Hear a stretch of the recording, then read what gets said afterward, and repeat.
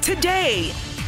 As North Korea launches more tests, where are its nukes headed next? And what's Kim Jong un's end game? Our experts weigh in. And then start the school year right with Dr. Kevin Leman. Learn how to prep your kids for the classroom and beyond on today's 700 Club.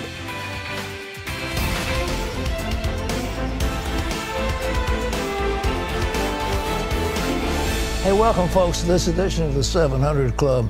Well, that bunch of crazies in the North Korea have done it again. They made its latest and most powerful threat yet, coming in the form of a hydrogen bomb, underground test, big explosion, maybe 60 or 70 times more powerful than the one we dropped in Hiroshima in Japan. Well, now the question is how will the United States and the world respond to this provocation? Well, while North Korea is moving ahead with its nuclear weapons program, it's also working on the missiles to deliver them to other countries, including the United States. Dale Hurd has the story. As tense as the situation with North Korea has already become, it could get worse. South Korea believes the North is planning another missile launch within a few days. The test launch of what some suspect will be an intercontinental ballistic missile capable of hitting the United States could come this Saturday. That's the anniversary of North Korea's founding, and leader Kim Jong un may want to show off his ability to target the U.S. with nuclear weapons. The stakes could not be higher. The urgency is now. And at a special meeting of the UN Security Council Monday, the U.S. repeated its warning to North Korea. Nuclear powers understand their responsibilities. Kim Jong un shows no such understanding. His abusive use of missiles, and his nuclear threats show that he is begging for war. Japan, which had a North Korean missile fly through its airspace, told the Security Council something must be done. The Security Council must act to stop North Korea from continuing down this road. South Korean warships conducted live fire exercises at sea today in a show of strength after the North conducted its biggest nuclear test ever of a hydrogen bomb. On Monday, Seoul used F 15 fighter jets and land based ballistic missiles to simulate an attack on North Korea's nuclear test site to strongly warn the North over the recent detonation.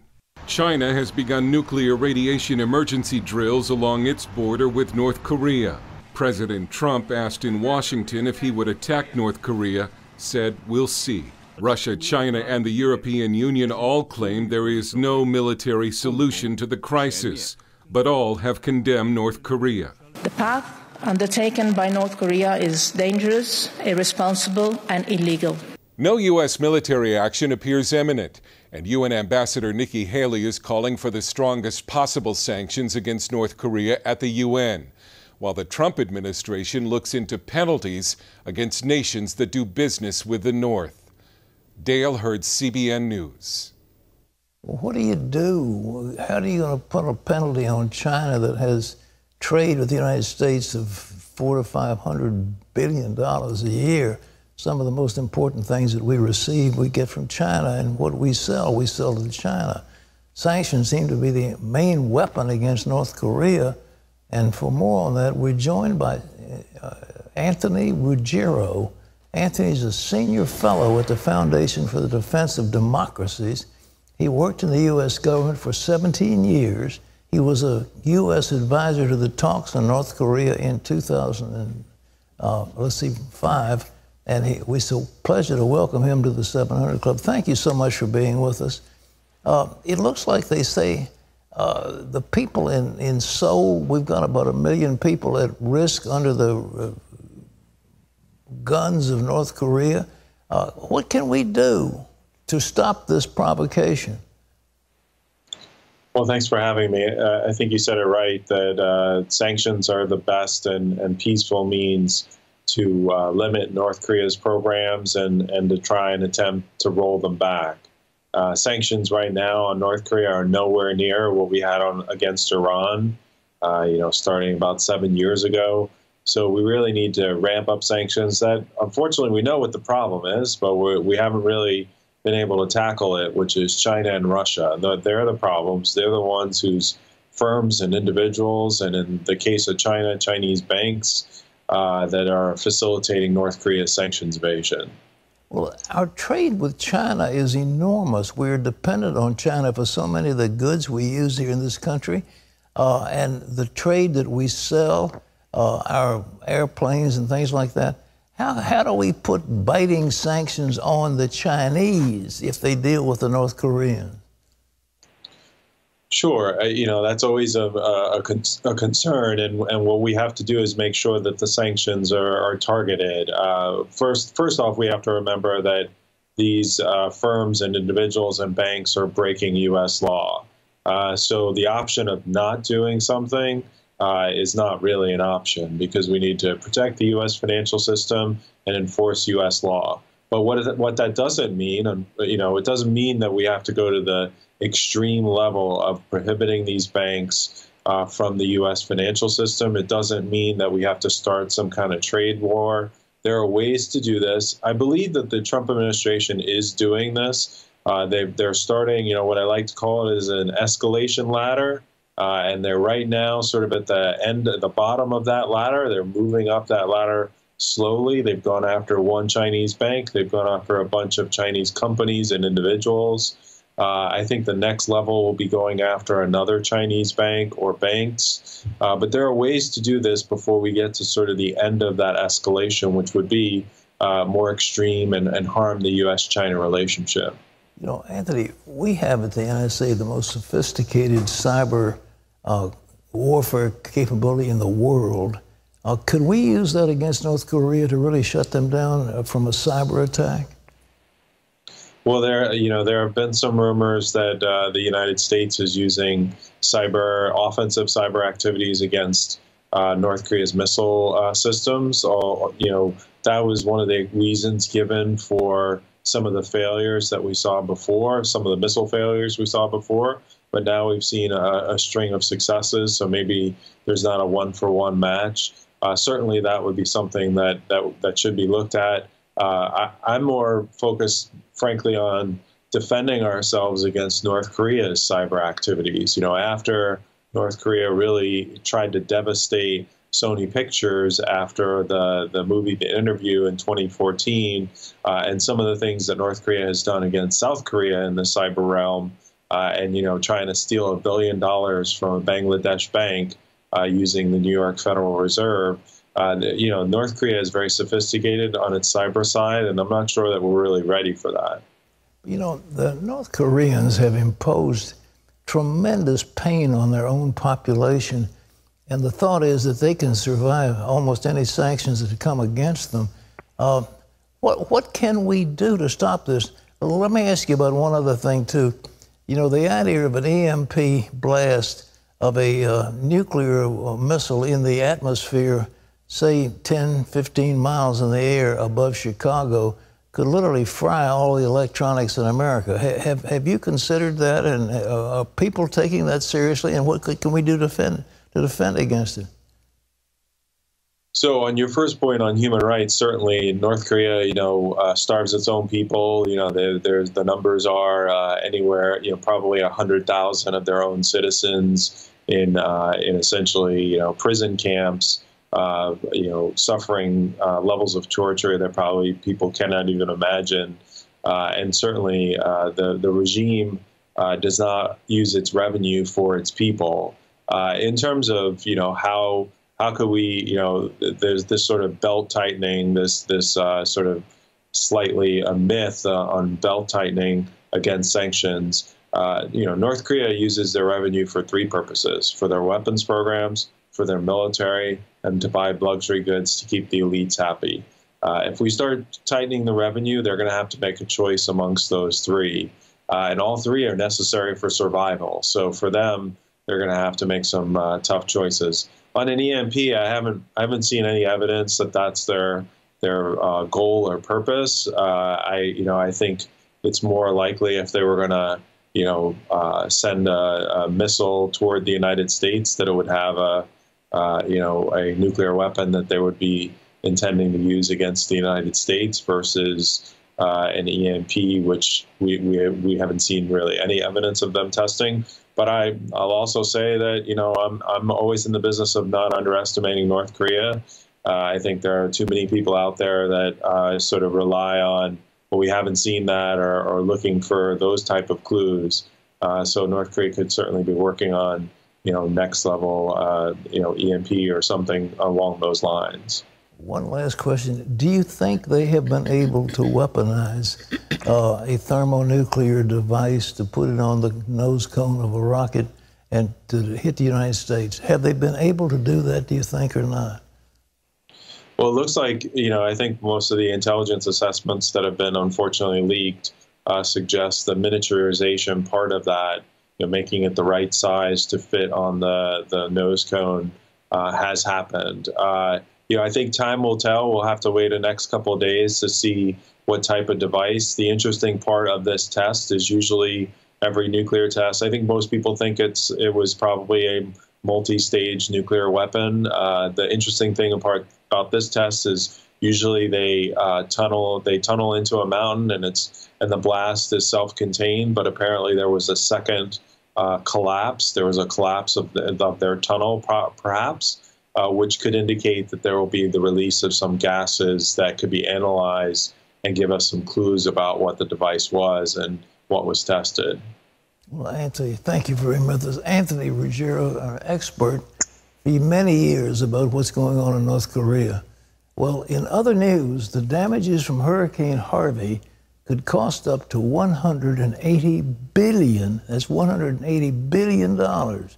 And the worst may not yet be over for many Texas, Texans in West Houston. The cleanup continues. More water will have to be released from dams in the area and that will bring even more flooding to those poor people. Our reporter Eric Rosales shows us the new damage it will leave behind. We are in West Houston, just about a mile or so away from where the releases took place, and you can see the damage that was left behind. This is pretty much the only way that you can get around in the neighborhood in Houston. It's about five to six feet of water that is gradually going down, but the results inside many of these homes is catastrophic. It's completely wiped out. Everything's at least within two feet of water, at least up there. All furniture's gone, appliances, everything.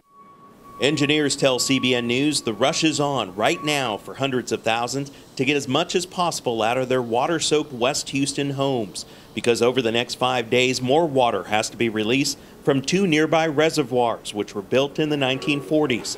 Emergency workers say the dams are showing their age and could give way if more water is not released to ease the pressure on them. Meanwhile, people have been going through their homes and taking stock of the damages. We lost a lot, lost a lot. Um, but it's just worldly possessions. They are just grateful to fellow Texans, strangers who have showed up at their home to help rip out the carpet and drywall. There's so much beauty that the Lord is bringing out of this. I just can't tell you. It, it's worth it all almost because it's really what it's all about. It's the bride of Christ being together in one. We're blessed. We're truly blessed to have some friends who had a, a house to allow us to move there and say, look, don't worry about it for now. Just get in, get your stuff in there. It's your home, and uh, be blessed. The whole Church Unlimited network. Raise your hands. Raise your hands.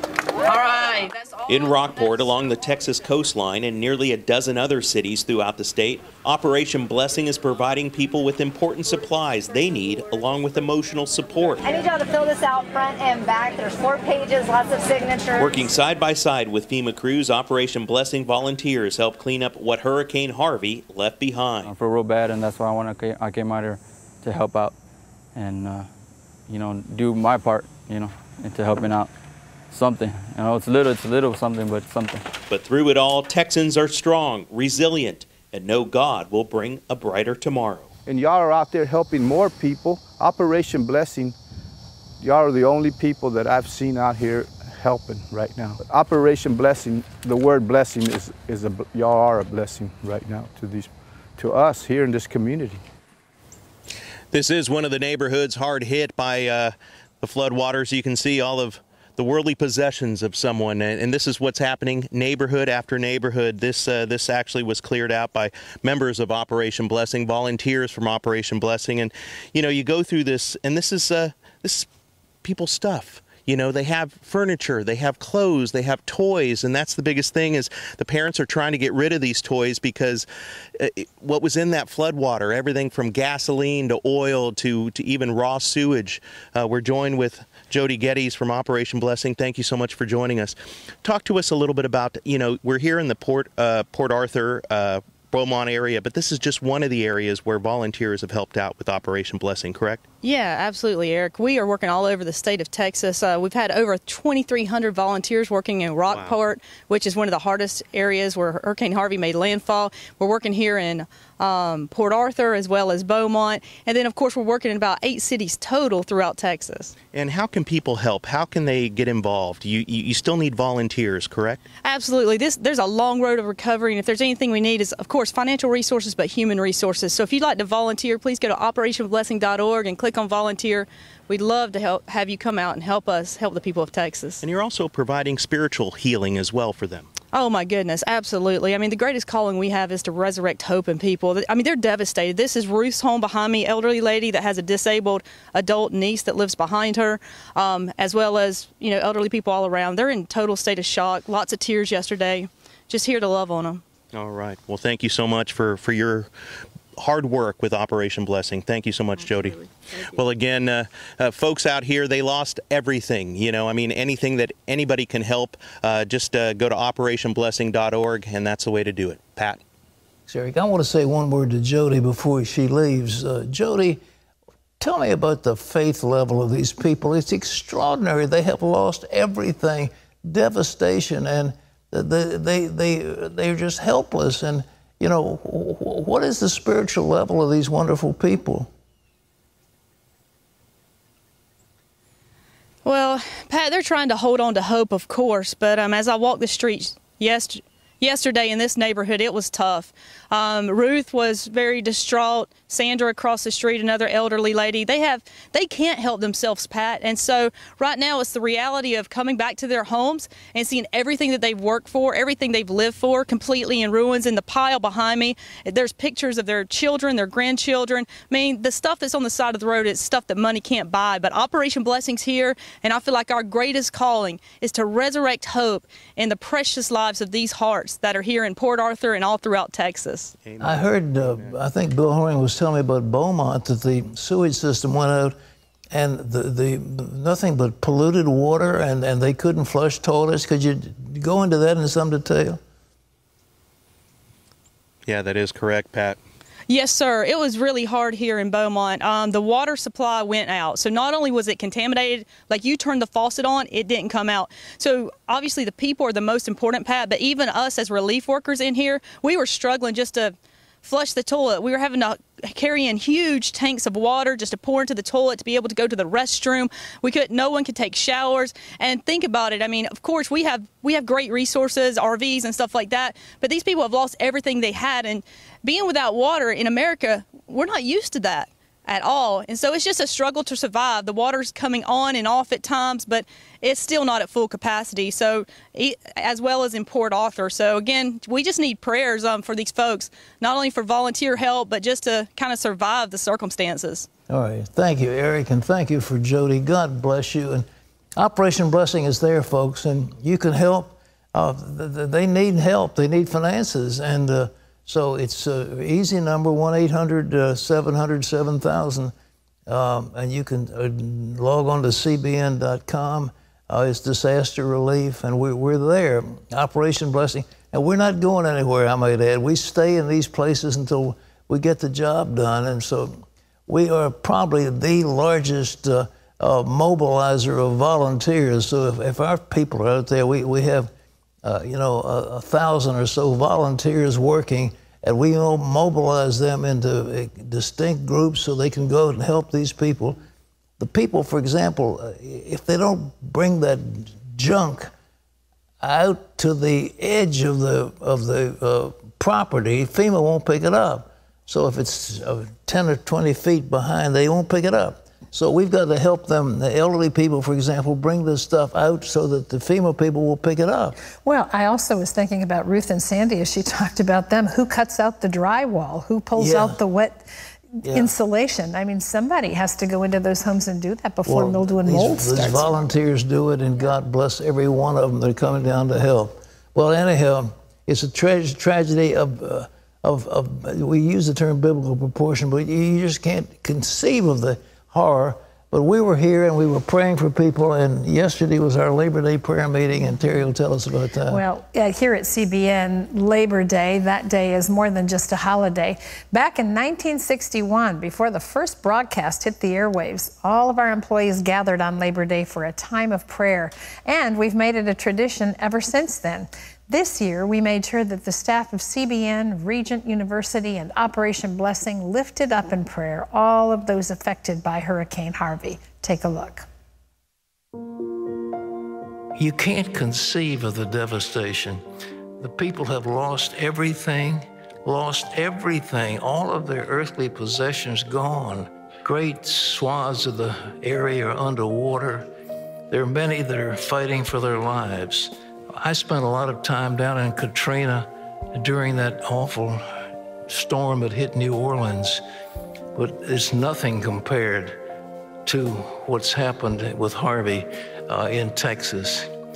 Pray for those brave people. Continue to uphold them, continue to support them. Operation Blessing is working, CBN International is working. We're all working down there to help those people as much as we can, and we're praying. So Let's not stop praying because the damage and the heartache will go on for years. It's not something that's short term. So thank you for your prayers. God bless you.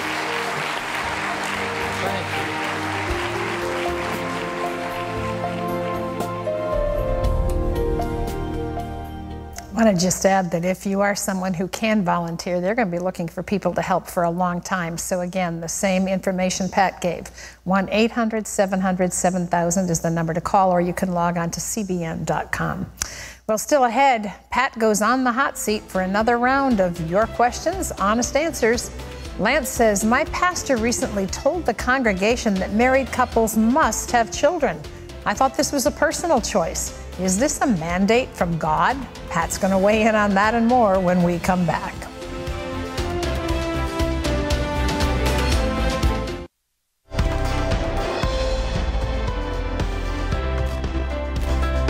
Well, a few days ago, we featured the story of a researcher who had cracked the code of Alzheimer's, and his treatment of the disease is nothing short of revolutionary. Well, the response to that story has been overwhelming. So we're going to bring Dr. Dale Bredesen on our show live to share more of his, his, findings. We want you to know in advance. You'll be able to see that interview on tomorrow's 700 Club, so don't miss that. Right now, time for your questions and some honest answers. Honest you ready? Answer. Let's go for it. This is Lance Pat, who says, Pat, the pastor at a church we've been attending for a few months recently preached that married couples had to have children if medically possible, and that you are living outside the will of God if you didn't choose to. In 1 Corinthians 7, Paul says that he wishes that all men would remain single as himself, but that it is better to marry than to burn. We've always believed that the decision to marry or not, or have children or not, was up to the individual and not mandated by the church. We're interested in your thoughts. Well, the early mandate between God and man was be fruitful and multiply and, and possess the earth and, and uh, you know, have dominion over the earth. So part of it is to multiply. I mean, be fruitful and multiply. That's kind of like a heavenly mandate for mankind. But I tell you, we have multiplied like crazy. I mean, there's seven or eight billion people, and there are almost too many of them. So uh, to say that a married couple in the church has got to have kids, I mean, no way. I mean, this isn't some dictatorship or some theocracy. We have freedom. And freedom, you're exactly right. Freedom is to decide to have children or not to have children.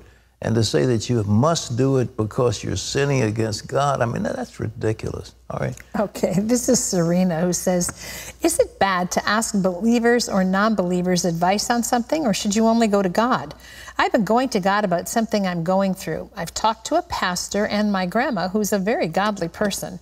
I feel as if I'm being impatient and putting other people's opinions over God's if I ask someone's advice after I've already asked God. I'm waiting for God to speak to me more about my situation, but should I ask other people as well about it? I tell you, if you have a line with the Lord and He speaks to you clearly, I mean, that's it. You don't need to have somebody else talk to you. But the Bible says, you know, when you make your war, seek counsel. Uh, in the multitude of counselors, there is safety. And so the idea of having godly counsel uh, is certainly biblical. And, uh, you know, when you're getting ready to make a major decision, it doesn't hurt. But I tell you what, if you know in your heart what God wants, then you'd better just do what God tells you mm-hmm. and not expose that to the unbelief of others. But uh, th- that, that's a, a, rocky deal. But the, the overall thing is godly counselors. They're people who have wisdom in certain areas, and it doesn't hurt to ask somebody, what do you think the market's going to do? What stocks would you recommend? Do you think I ought to invest in so and so? And somebody who knows better says, hey, look, that's a dog. You want to stay away from it. It helps to have people's advice. Mm-hmm. All right. Okay, this is a viewer who says, I know that Jesus took all of my guilt and shame, and I understand that my sin was the reason that he died for me. What I want to know is why do sexual sins make you feel more guilty? guilty than some other sins. Will God penalize me for the sexual sins that I commit in thought and action? I have a hope to be totally free of this. Look, you're a human being. If you're a man or a woman, and you're we're sexual beings, God created us to reproduce. We have, you know, functional members that are used for reproduction, and He gave us certain desires and passions, and uh, those desires and passions, unfortunately, when they're out of control, can lead to real serious problems, broken families children out of wedlock, all kinds of problems. So, because sex is so powerful, the results of misuse of sex can, can you know, hurt more than, than if you, you know, eat too much chocolate cake at lunch. You know? Exactly. All right. just, just a little more. a little more. Okay, this is Cynthia who says, My mom has been a Christian many years, but she refuses to forgive people and as a result has become cynical towards everyone, even family. Does God allow people into heaven who believe in Jesus but who do not forgive their brothers? Um, I tell you what, it's very clear. Uh, you, you, know that prayer, uh, the Lord's Prayer, and forgive us our trespasses as we forgive those who trespass against us. It's all, it's in the prayer. Jesus says, when you stand praying, if you have aught against any, now, I, am not going to talk about the eternal destiny of somebody, but I will talk about this. I promise you, if you do not have a forgiving spirit, you will not even taste of a miracle. You will not have miracles of healing. You will not have miracles of financial provision. You will not have miracles of interpersonal blessing. You will cut yourself off from all of the blessings that God has for you if you have, if you lack forgiveness in your heart. Now, does that take away your salvation? I, am not prepared to say because I don't have clear scriptural mandate, but it certainly it is very, very clear in the Bible. Forgive us our trespasses as we forgive those who trespass against us. And you know, I, have gotten to the point in my own life, I, I am incapable of holding a grudge against anybody. I can't do it because, you know, the Lord just wants me to forgive people. And I want to be blessed. I want to walk in His blessing. And so, is it worth holding a grudge to cut off the blessing of God? Well, of course not. But that's the rule. And so um, mm-hmm. you can take it for what it's worth. All right. Wise counsel. Okay. Thank you. Thank That's you. all the time we have for your questions today, but we thank you for submitting them. Well, coming up, a back to school lesson from best selling author Kevin Leman. Learn how parents and students can get the most out of the school year when we return.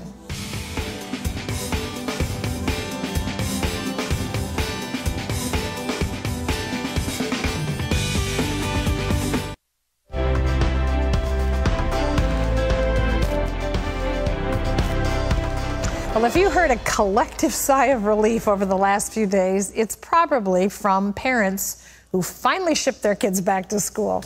But as Kevin Leman says, the important thing for parents isn't what they get their children, that they get their children on the right bus. It's making sure that those kids are getting in the right seat. Take a look. Best-selling author Dr. Kevin Leman says finding the right school for your child, whether public, private, or homeschool, is one of the most important decisions parents make.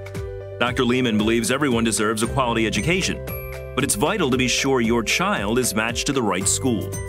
In his book, Education a la carte, Dr. Leman provides much needed tools to choose the best schooling option for the child and helps students prepare for life, both inside and outside the classroom. Well, our good friend Dr. Kevin Leman is here with us now. We welcome you back to the Thank 700 Club. I want to mention at the top that all of the things that we're talking about today are included in your new book, Education a la carte. Choosing the best schooling options for your child. Boy, every parent needs to know that, don't they? Yeah, I title my own books, and I think Education a la carte is a pretty good title because I don't think most parents are even aware of all the choices there are for kids today. And it's not only getting your kid on the right bus, it's getting your kid on the right seat on the bus. Exactly. And there's magnet schools and charter schools, private schools, parochial schools, you name it, they're out there. Yes, Yes. You know, I I think one of the things that's difficult for a parent is to figure out what what's your child's learning style. You know, most most of us just went to school and wherever you landed, you landed. I mean, it was true for you. I was so surprised to read with all your accomplishments and your books and your studies that you were smart, but you had terrible grades in grade school. What happened? Yeah, I never figured I was smart till later on, but uh, I spent a lot of my elementary, elementary education standing in the corner looking at paint chips. I mean, that was what they did with me. But I, I graduated fourth and bottom of my class of high school. But what then? What motivated you? What finally? you didn't go on to college right away. You worked for a while, and what was it that made you say, you know what? I need to turn this around. Well, I, I became a believer. I met my wife in the men's room of a hospital when I was a janitor. You want to talk about that? Yeah, well, no, it's, she was the inspiration that God used in my life to help pull the trigger. And, and uh, after I became a believer, God gave me motivation, and I went in and never looked back. I had 13 years of college. But I mean, I remember being in a reading group with a girl who ate paste. I mean, uh, I was going nowhere. Okay. I think I had someone And in so my now- school who ate that stuff. But now, with with the book Education a la carte, I challenge parents to take a look at the learning style of your kid. How do you know what it is? Well, you know, nobody's better equipped to know who your kid is than you are. You're the best teacher your child will ever have. But is your kid uh, interested in people, data, or things? There's three areas right there. You can see the future engineer who's working with his Legos. Mm-hmm. But again, you got a kid who's in music, loves music and drama. Would you send them to the public school down the street that just slashed their entire budget? Wow. and don't have much to offer. So again, I challenge parents, if, if there ever was a book that's a guide, a handy guide that, as my publisher says, this book has legs, it's going to be on the shelf a long time because there's so many opportunities out there for kids.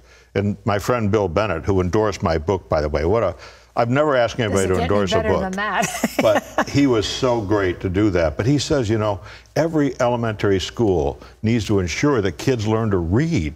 Well, I got news for you. That's late breaking news in a lot of places because they're not learning to read. And we don't set the high jump bar of life high enough for kids. In Leman Academy, we've started these schools. Talk about that because you started some charter schools that are doing some pretty amazing work. Well, they are. They really are. Uh, we have high expectations for kids, okay? Very good. And we have we insist that parents become involved in the education, and uh, making children mind without losing yours, and have a new kid by Friday. Two of my parenting books, which was fun for me, is to take those principles I wrote about. Your child is not the center of the universe. Yeah. Okay. And and vitamin E, encouragement. How do you encourage kids today? Mm-hmm. And what about vitamin N, which is no? And we put that in the classroom. Plus, Terry, we put authority in the classroom teacher's hand Which we have seen being eroded from the public classroom for decades. from the get go. So when you put that in a school, and I challenge parents to take a look around and see there's magnet schools that specialize in Mhm. certain types of training, and there's high schools where kids learn auto mechanics and welding. take a look at the myriad opportunities for your kids. You can be a good coach to your child because every parent worries about peer group and about social pressure and competing in a global economy. The days of crayons and coloring in kindergarten are over. Those kids are reading. Yeah. It's accelerated. It is accelerated, and so is the work that comes home. I think parents are sometimes overwhelmed by all of that, Kevin. And now you're talking about potentially, if they're not in a charter school, placing kids in different schools. One family may have children in different schools. How do you juggle that? Yeah, parents hear that. I think they want to get a gun out, let me have it. But, you know, the truth of the matter is that your kids are different. Your firstborn, your secondborn child in any It's family true. are very, very different. But, you know, it's, uh, it gets back to looking at kids' potential, what, they're, what they do well, and trying to guide them through it. As far as homework goes, hey, parents, don't do the homework for their kids. Hey, would you turn that music down? I'm trying to finish your homework. You know, that's the permissive parent today. They want to do everything for their kid. For their child, so, yeah. a principle B doesn't uh, start until A is completed. Mm-hmm. But ca- can I ask you, how do you get a child to want to do their homework after they've been in school all day and they've been focused and directed and everything's, you know, they come home, well, we're raising our granddaughter, and when she comes home, she's only in K 5, but she wants to play. Oh, yes. And I think it's good for kids to come home and play, then have a set time. And, you know, you can lead that horse to water, okay? You know that one, but you can't make them drink it. Yes. But again, I go back to a simple principle like B doesn't happen till A. Kids always want any everything. They're Mhm. on the take. Yeah. Uh, they're hedonistic little suckers. We know that from the day they're born. And so they're always asking for something. And a simple retort like, honey, I see your homework's not done. When that's done, we'll talk about B, Mhm. the next thing. And so I just want to emphasize the authority. And keep in mind that God's not an authoritarian, but He is the supreme what? Authority. Yes. You need to be authority in the home. We need authority in classrooms. Let your yes be yes, your no be no. If a kid gets in trouble at our school, I always tell parents, hey, expect a call from school. But guess who's going to be on the phone? It's little Buford saying, I don't know how to behave like a fourth grader. You need to come pick me up now. I and that's that. keeping the tennis ball life, Terry, in the court it should be in. Mhm. Child bearing responsibility for their own actions and choices. Hold those little suckers accountable. It's great Mm-hmm. training in life. want to mention the book is Education a la carte and it's available wherever books are sold. Want to find out more about all the school options that are available to you? It's in here and you're doing some great work with charter schools. Thank you. You're You always welcome. bring wise counsel. Good to have you with us. Well, still ahead, a family falls on hard times after dad gets laid off after 17 years. After I lost my job, it was really challenging. We had no money coming in, and we had to start living on the credit cards. See how this family of six gets back on their feet after this.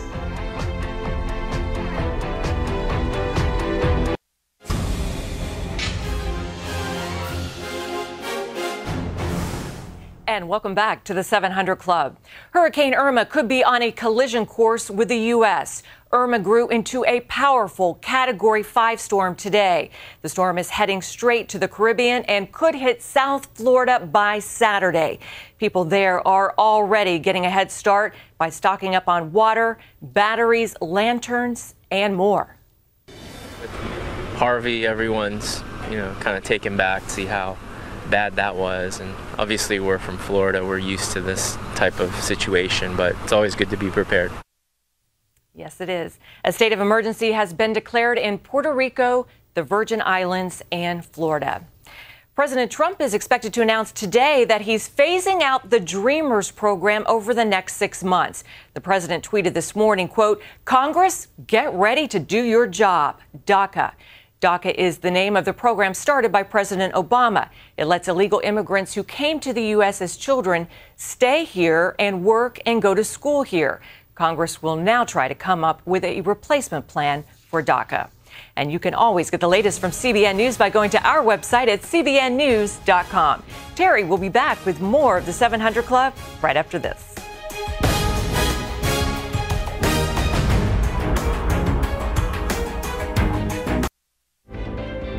To see this week's top on demand videos, go to CBN.com.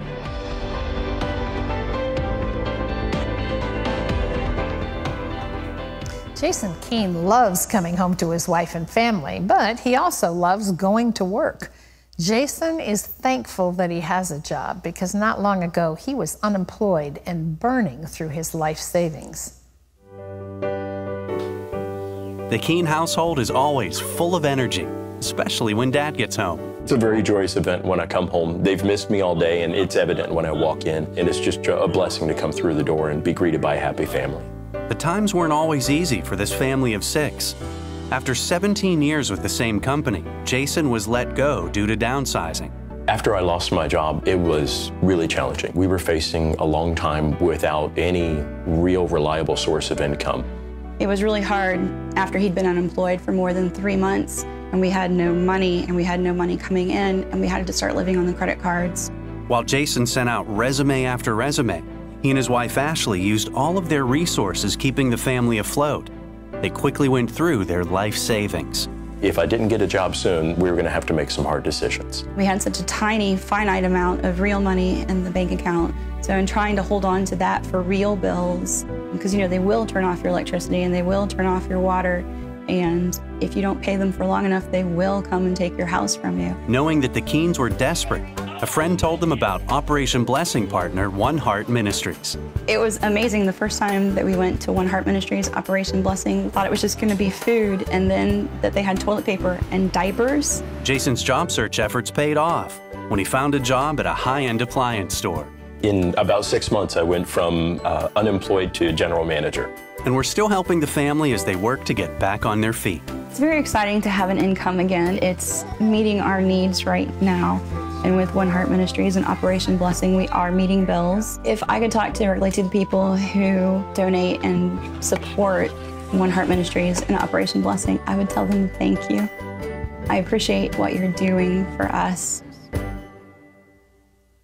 If you're a 700 Club member, then it's you that they're thanking because you make it possible for us to be there for families like the Keenes. You know, there are lots of people who are not in the position to be able to sustain and maintain their necessary living expenses if they were to lose their, their jobs, lose their income be a part of helping us to be there for people, not just in disaster emergencies like what's going on down in Texas right now, but just day to day life as it hits many, many people across our country.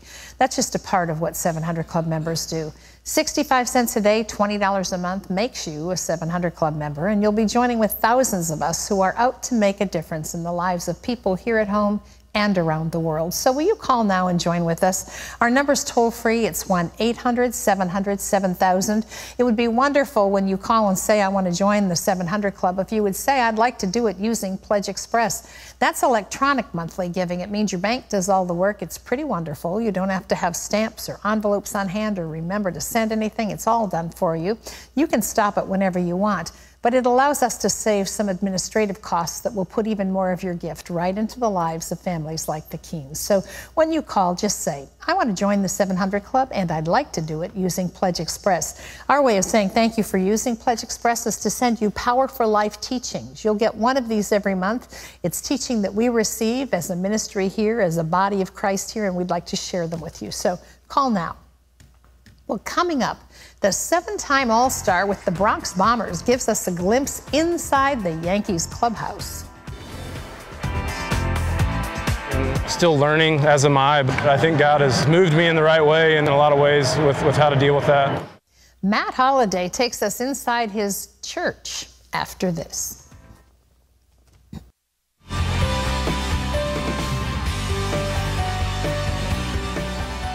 Yankee Stadium has been called baseball's cathedral. For veteran slugger Matt Holliday, it's also sort of his church. Matt not only serves as the team's designated hitter, but that of a spiritual leader as well. Tom Buring has the story. Matt Holliday is baseball's esteemed clubhouse leader.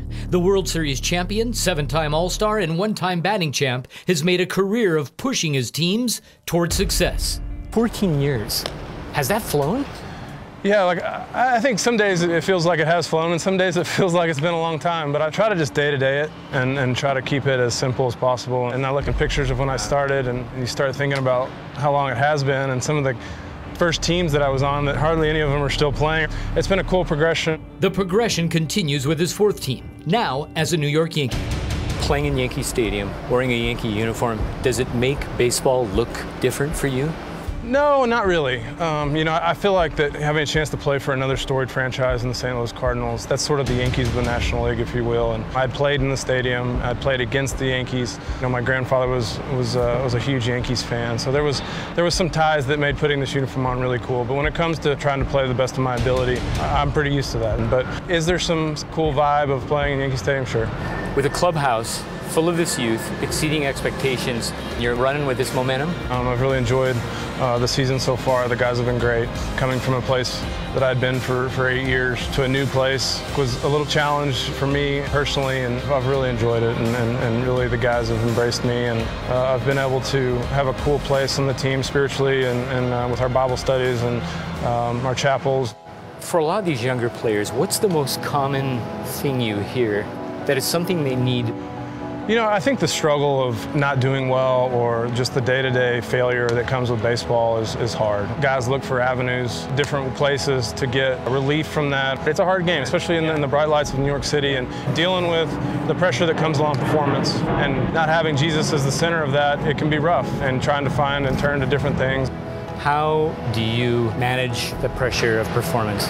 Do I deal with 0 for 4s? Perfectly no having a relationship with Jesus and recognizing that my performance is not representative of how much he loves me and, and, just being able to go out here and trust in the fact that I'm, I'm where I'm supposed to be, doing what I'm supposed to be doing, and go, being able to separate this and go home and be a good husband and, and try to be a good father and help them understand what God's love looks like.